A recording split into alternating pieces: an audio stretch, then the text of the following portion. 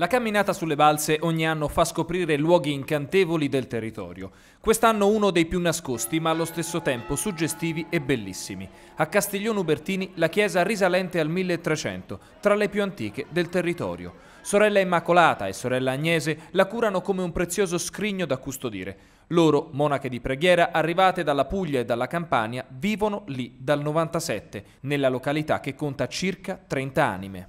In pratica questa risale al circa 1300, fine 1300, inizi del 400. L'antico insediamento non era qui, al Castellare era, e c'era una rocca di, eh, degli Ubertini, mi pare, degli Ubertini, che erano in eh, rotta, in conflitto, eh, con Firenze ed erano alleati eh, di Arezzo. No, erano con gli fiorentini alleati Are di Arezzo, insomma.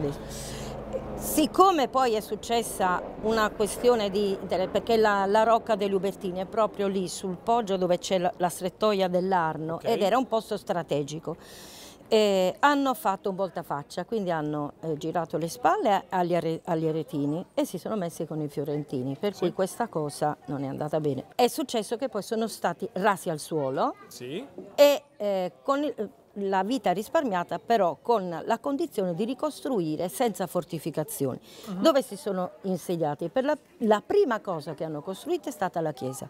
Quindi questa diciamo, è, il, è la cosa più antica. Più Poi okay. hanno costruito Monticello, ah, okay. però è chiaramente senza fortificazioni. Adesso se uno va a vedere là certo, non è una certo, cosa antichissima, certo, però certo. qui c'è la chiesa che risale appunto alla fine del 300, inizi 400. Ecco, la chiesa è aperta ogni domenica per le sante messe e per le visite. Merita un passaggio. È a pochissimi chilometri dall'Evane e raggiungibile da ogni parte del territorio del Valdarno.